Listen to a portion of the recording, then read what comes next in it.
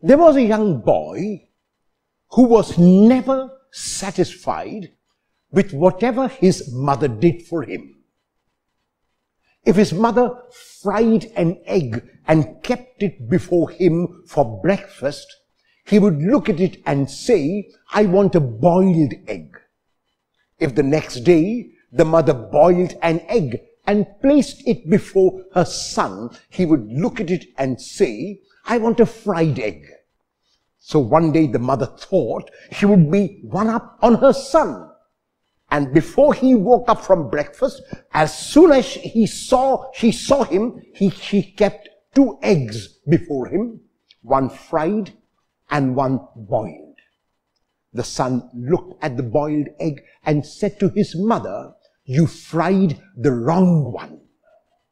There are some who are never content with life or with what life has to offer. There are some who always see the black spot on the white wall, who always see the half filled bottle of water, who always see the negatives in things.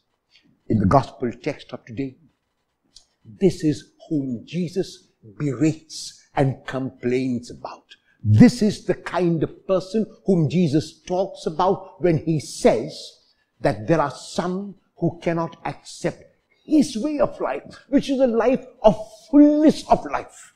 There are others who cannot accept the morose life of the one who came before him, like John the Baptist, who proclaimed repentance for forgiveness of sins. What kind of a person are you? Do you look only at the negatives of life? Or are you able to see the positive? When you look at a person, do the faults of the person, do the deficiencies of the person strike you first? Or will you look and see that there is positive in everyone, in every situation, in everything? The Jesuit Teilhard de Chardin said so beautifully, there is nothing that is only profane in all reality for those who know how to look. There is nothing in all reality that is only profane for those who know how to look.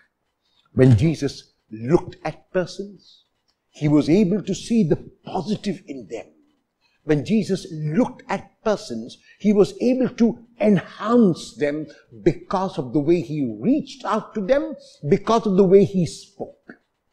Will you focus only on the positives today?